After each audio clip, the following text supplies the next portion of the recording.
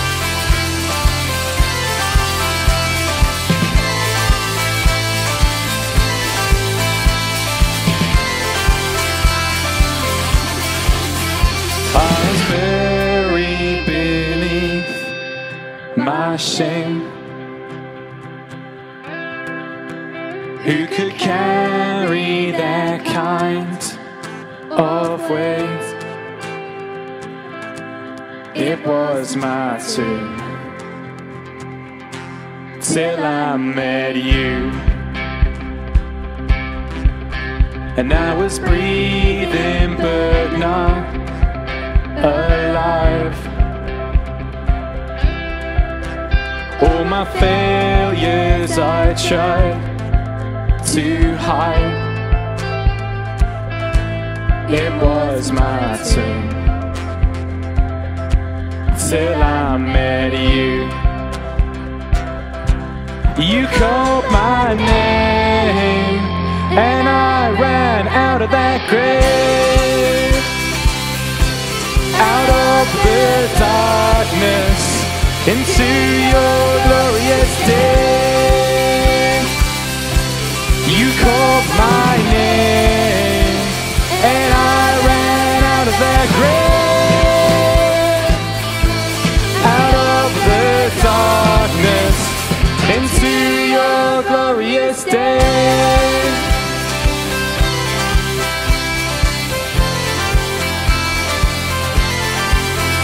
Now your mercy has saved my soul. Now your freedom is all that I know. The old made new. Jesus, when I met you, you called my name, and I ran out of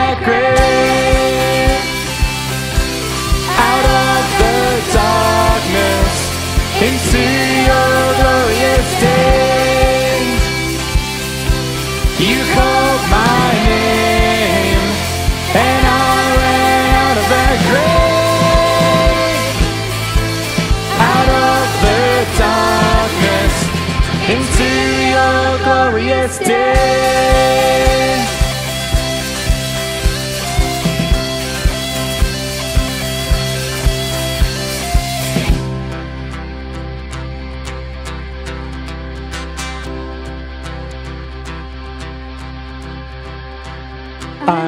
Rescue, my sin was heavy, but chains break at the weight of your glory.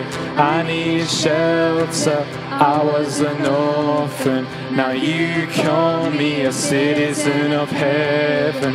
When I was broken, you were my healing, now your love is the air that I'm breathing. I have a future, my eyes are open, you called my name.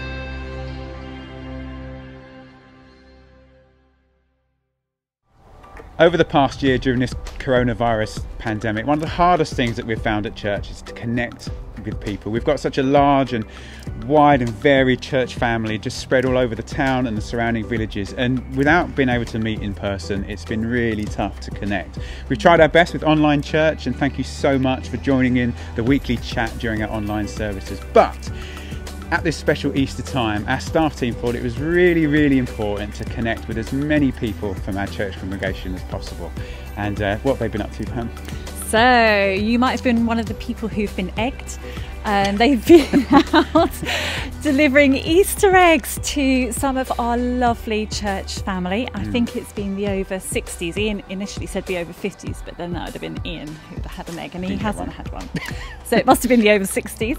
And uh, I think some of our younger um, families as well have had some visits and some deliveries of mm. eggs. So, what a lovely way just to wish people a happy Easter by just popping an egg round to them. And I hope maybe some of you have um, taken that opportunity opportunity to connect with the community where you live too. Absolutely. It's been thank you so much to our staff team. They have been working tirelessly for the last week or two, just getting out there, knocking on doors, visiting so many people in the surrounding area. And we hope you've started to feel a bit more connected. It's not going to be long before we can all meet together as a church, and we can't wait for that to happen, can we? So now we're going to have a time of prayer led by some members of our Westley and West Road congregation. We hope you'll enjoy seeing their faces, but also um, sharing in this prayer time together. Yeah. And then Asher will be bringing us the reading from Mark, on which David Oakley is going to be speaking about today. Absolutely, yeah. Our senior leader, David Oakley, will be bringing us a really challenging message. So please do listen carefully and just allow the God's word just to minister into our hearts. It's a, just we said at the start of our service, it's such a special time of the year, and this is a real challenge to each one of us. Whether you'd call yourself a Christian or not, you know, just take these words in and listen to this challenging message. And afterwards, we're going to be worshipping together again. Lord, there is not one more redeeming, liberating, or costly sacrifice than the cross of Christ. Many don't understand it or accept it. They live blinded by its power and grace. We cannot hide away or pretend it doesn't exist. The power of the cross is not to be shut away, ignored, forgotten, or destroyed. Lord, you are the one who reigns supreme. You hold the final victory. You are the one who conquered sin. You conquered death. We are forever changed by your forgiveness and grace. Today, as we remember your resurrection and power over sin and death, we thank you and we praise you in Jesus' name. Amen. Lord Jesus, thank you for your death on the cross for each one of us. Thank you for giving everything for us, for enduring separation from your Father so that we can experience your forgiveness and know your joy as we are brought back into a right relationship with your Father. We love you and thank you for all that you've done and all that you mean to us. We choose to follow you and seek to love you Holy Spirit, will you empower us to live lives that honour Jesus? Our prayer from the book of Colossians in the Bible is that we may live lives worthy of the Lord, that we may please Him in every way, bearing fruit in every good work, growing in the knowledge of God. Help us, we pray, in Jesus' name. Amen. Dear Heavenly Father, we come before you in prayer at this Easter time a time when we think of new life, hope for the year ahead, and new beginnings. But Lord, we want to thank you this morning that Easter time showed us the greatest demonstration of forgiveness to us through your Son, Jesus Christ. All of us at some point have experienced or are experiencing how hard forgiveness can be, particularly when we feel an injustice has been done against us and perhaps no apology offered how easy it is for us to feel forgiveness is not deserved. And yet, Father, through your immense love for us as your children, When we did not deserve it, your Son suffered on the cross and cried out, Father, forgive them, for they do not know what they are doing. In all his innocence, that great love was able to forgive us and has shown us through generations there, the power there is through this forgiveness, as you made a way for us to be reunited with you.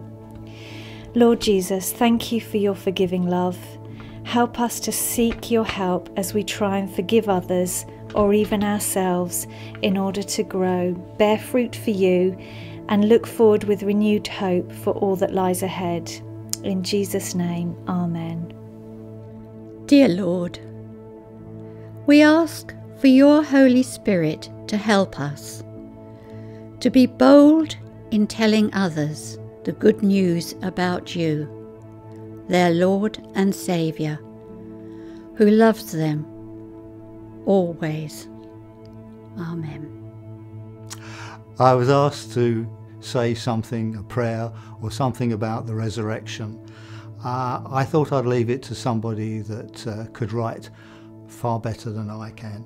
And this is an extract from a story, Holding Fast, by Hilary Faith Jones. Stephen stretched his legs out in front of him and leant his head back on the wall, felt the warmth of the sun spread on his back and down his shoulders. He smiled. These were wonderful days.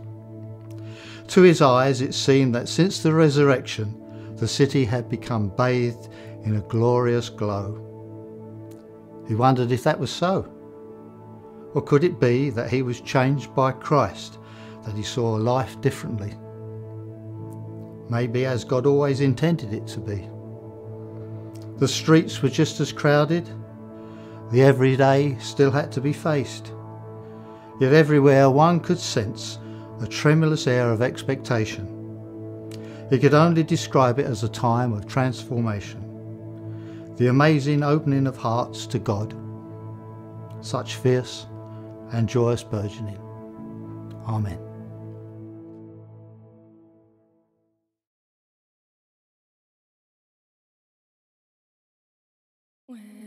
Survey the wondrous cross on which the Prince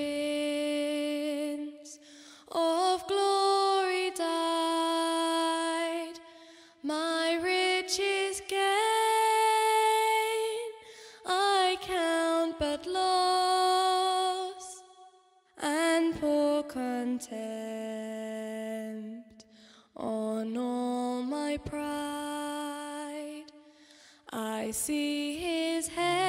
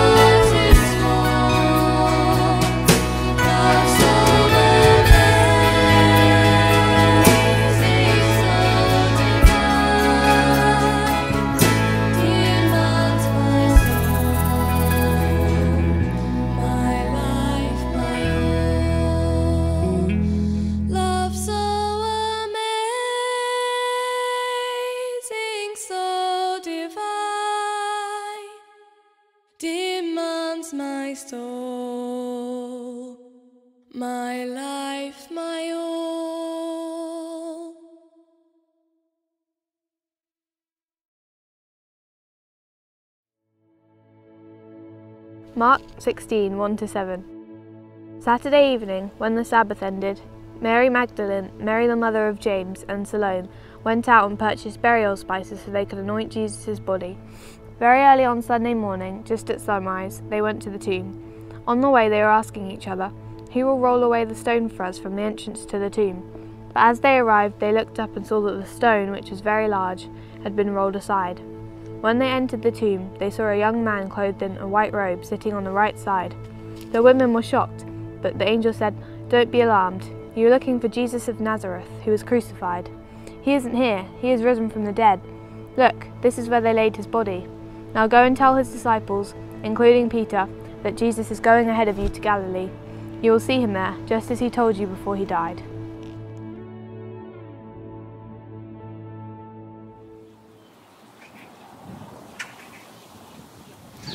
Happy Easter, everybody. Just delighted you could join us here at West Road and Westley Community Church. My name's David Oakley, Senior Pastor, and I'm just so pleased you could join us on this Easter Sunday.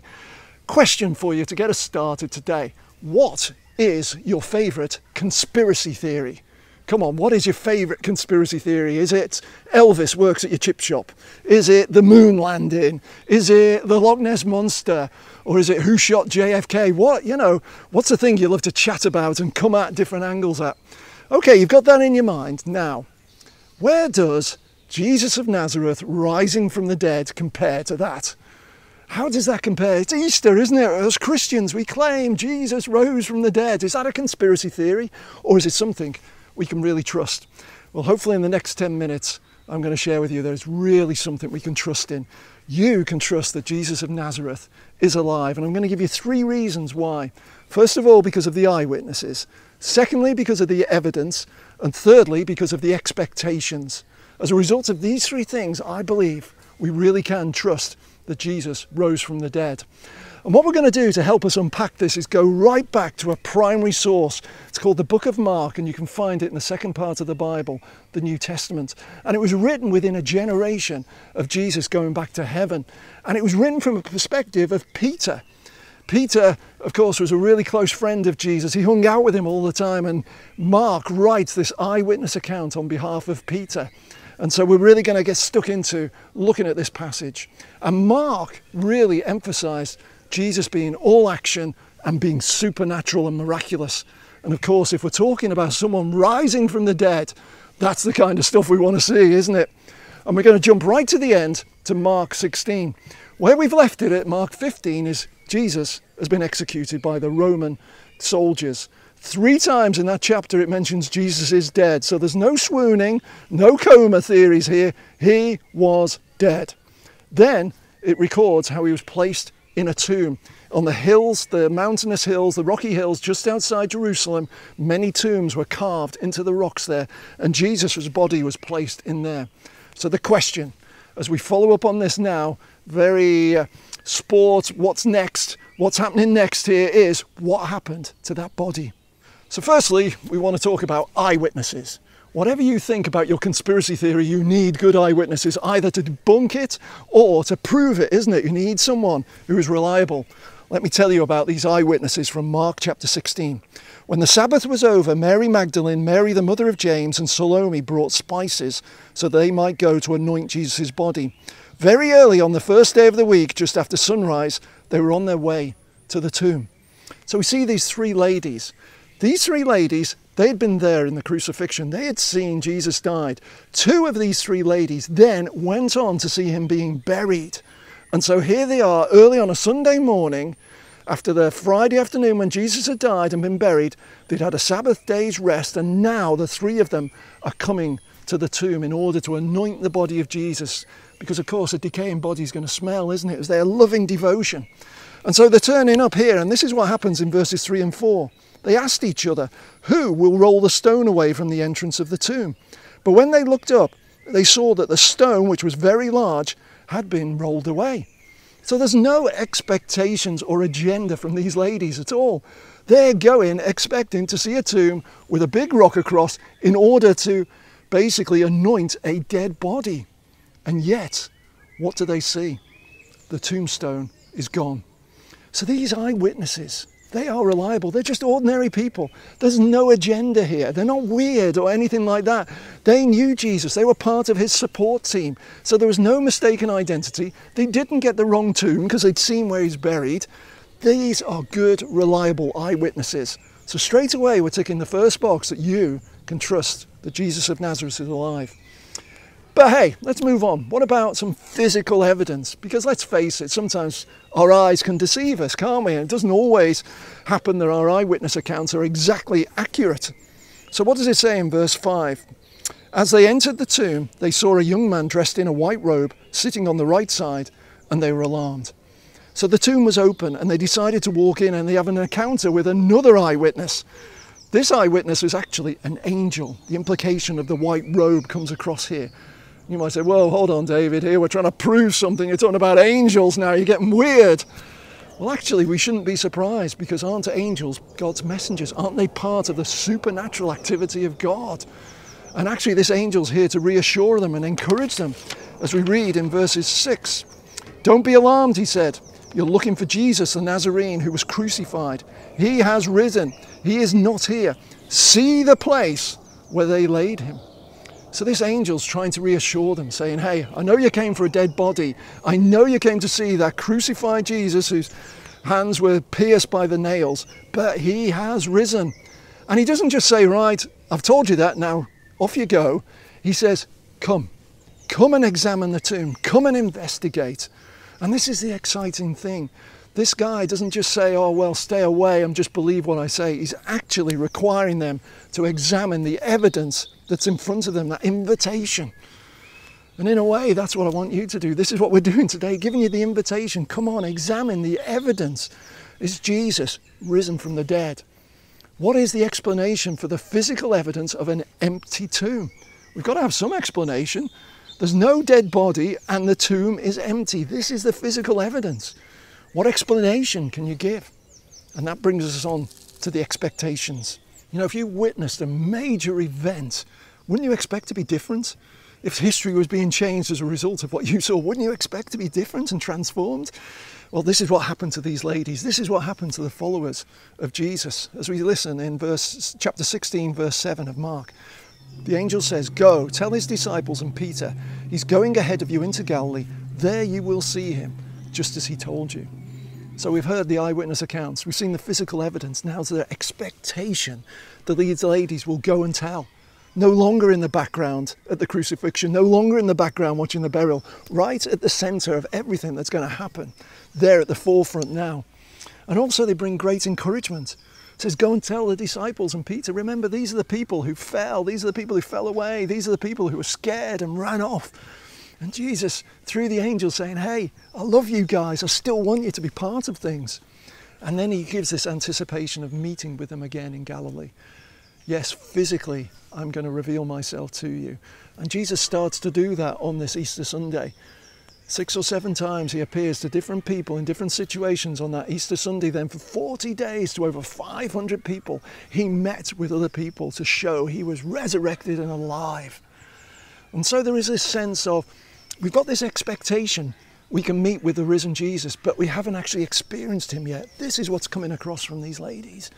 They know in their hearts that Jesus is alive because it was predicted there's going to be a future meeting, but they're still waiting for that experience. And I guess that's where we're at as we think about our response to the risen Jesus. Two action points to finish off. First of all, do you want to know more about the risen Jesus? Do you want to investigate more? See, the thing is, something like resurrection takes a bit of getting used to. These disciples had to see Jesus a number of times before they really got it. And we want to offer you the opportunity to investigate more about Christianity we run something called Alpha. Over 6,000 Alpha courses are running in the UK right now for tens of thousands of people, so you won't be alone. And the other great thing is you can do it from your own living room because we'll do it on a Zoom, perhaps on a Monday night after Easter, and we can run it over a number of weeks where you can ask the hard questions. You know, can we trust the Bible? Who is Jesus? Why did he die? All these kinds of questions. We'd love you to respond like these ladies did at the tomb when the angel says, Come and investigate. You can investigate Jesus. So just get in touch with us. Office at westroadchurch.org.uk, and we'd love to get you signed up for an alpha. But secondly, maybe you believe this stuff. Maybe you are a follower of Jesus. Maybe you said, Yeah, I get it, David. Jesus is alive. Is it your time, like these women, to move from the background and move to the forefront? As you start to think about your family, your friends, your work, your neighbours, is it now your time, instead of perhaps being a little bit in the shadows, to step up and start to share this great news? Jesus is alive. He didn't resuscitate, He resurrected. No one else in all history has done this. Surely this has got to be the good news we've got to share and investigate and respond to. Thanks so much for watching. God bless you this Easter time.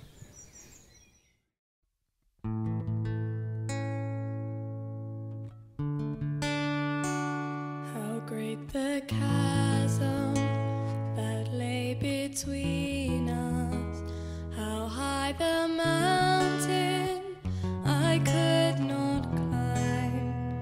In desperation, I turned to heaven and spoke your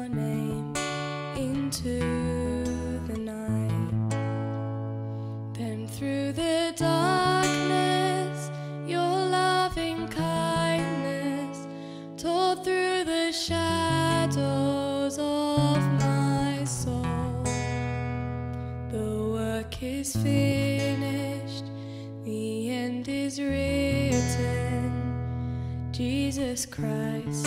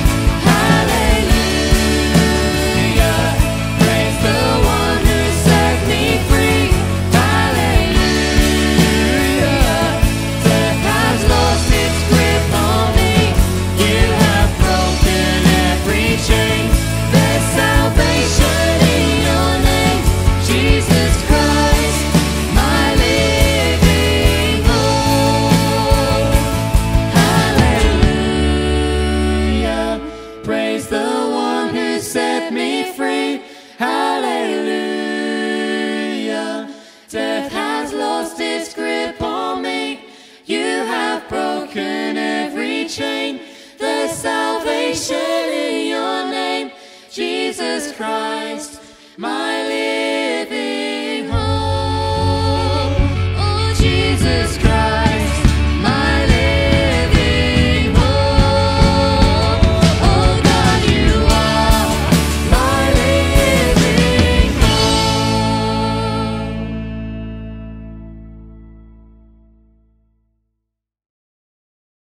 hope. So now we're going to listen to a new song, and um, it has beautiful words. And in the middle of it, Ian Featherstone will be reading a poem that he's written. And in it, it really just tells um, his story of how Jesus has completely changed his life, how this truth about the resurrection has absolutely made a difference to him. Yeah. So just sit back and, and listen to this and enjoy hearing Ian's testimony through it. Um, and then we'll be moving into a time um, of worship together with, with a very well known hymn.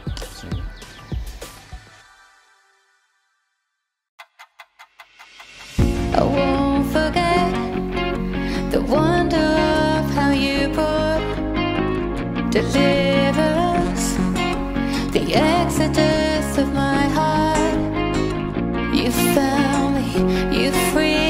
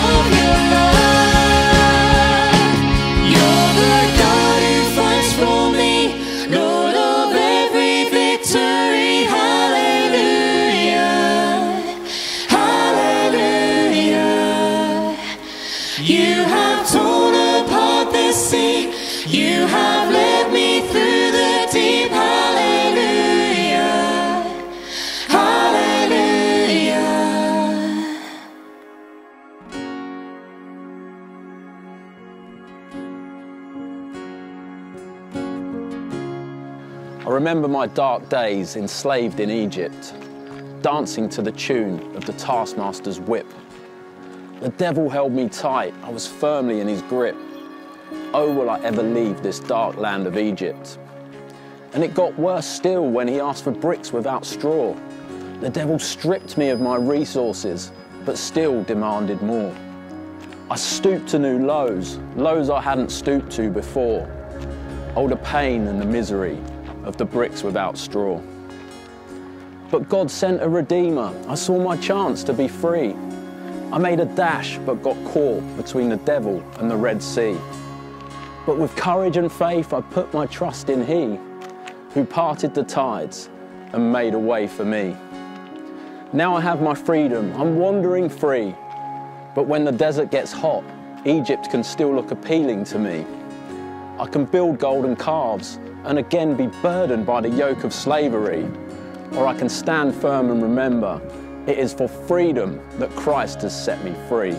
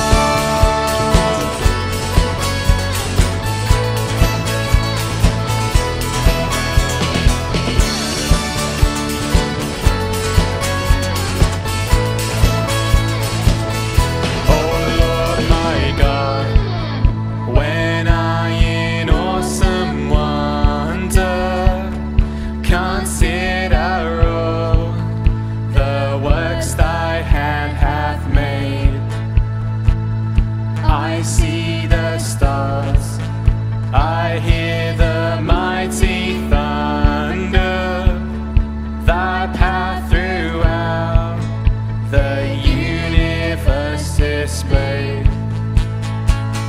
Then sings my soul,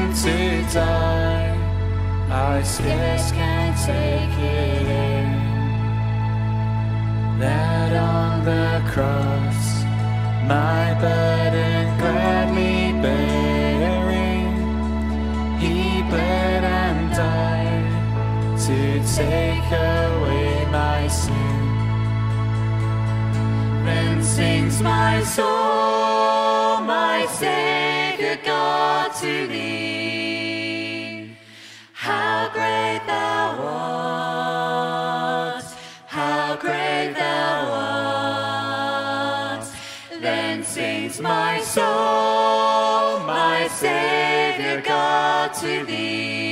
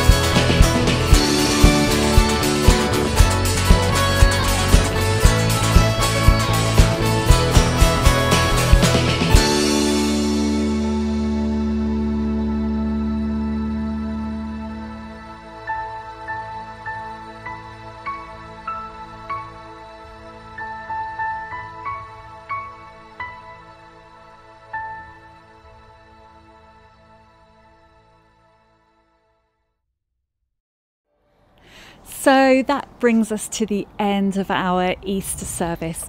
We hope that you've been challenged um, to really think about um, the truth behind Easter um, and that you've also been encouraged and blessed as a result of joining us this morning. Absolutely. It's a real privilege to have your company this morning. Thank you so much for taking the time out of your bank holiday weekend to join us here this morning. And uh, if you have any questions that have arisen from our time together, then please do not hesitate to contact us here at church. The details will be appearing on your screen as I speak. But we're going to leave you with one last special item. This is a spoken word piece written and performed by Josh Luce. It's called You Were Counted and it's very beautiful and poignant.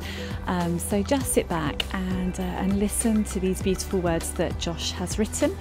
And it just comes to us just to wish you all a very happy and blessed Easter. Absolutely. Happy Easter. God bless.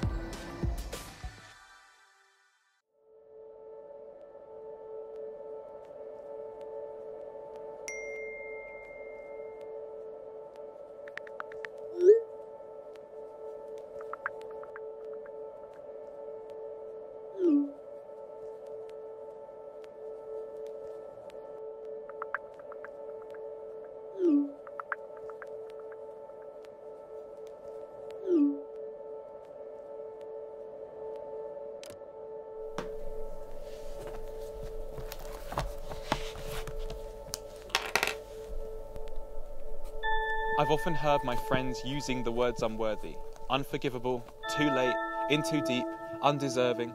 They think they're earning what they're getting, and therefore, if they've been letting days go by messing with something threatening, it's not heaven they're expecting. Well, it's depressing, they're just accepting where they think that they are heading, their sun setting without blessing, and they see no point in begging. But somewhere within, there's a wishing feeling if only I had something more to believe in, I'm secretly seeking a meaningful reason. You might see that they're breathing, but their souls are screaming. If you find yourself resonating with any of the words I'm stating, please keep concentrating. It's about to get liberating. Here's what I believe Jesus took the weight of every sin. He bore each one upon his skin, and in the list of scars set in, you were counted. A father killed his only son and threw his unconditional love in every drop of perfect blood. You were counted. He paid the ultimate sacrifice, in which he made no compromise, and through the thorns and agony eyes, you were counted. He had the vision, so you have the view. He's the one who sees straight through, and through his death, you can be made new. You are counted. See, it's not about earning.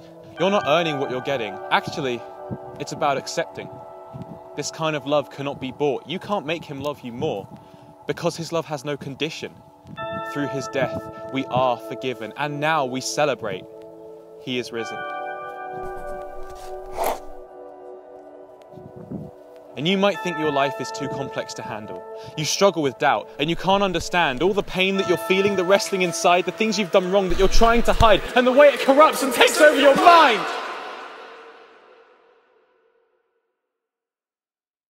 I am alive because he died. The one who turns my dark to light, my shield, my shelter, my source, my guide. When Jesus took a Roman cross, he was saving all of us. And therefore, what I say is true. All of us includes you. Three days passed, and then he rose. He conquered death so we would know there's nothing God can't overthrow. I am alive because he died, an innocent man, unfairly tried, for my survival certified. You were counted. He counted you and I and all of us. Has it hit you that you're important enough and loved enough to be rescued? Jesus counted you. Do you count him?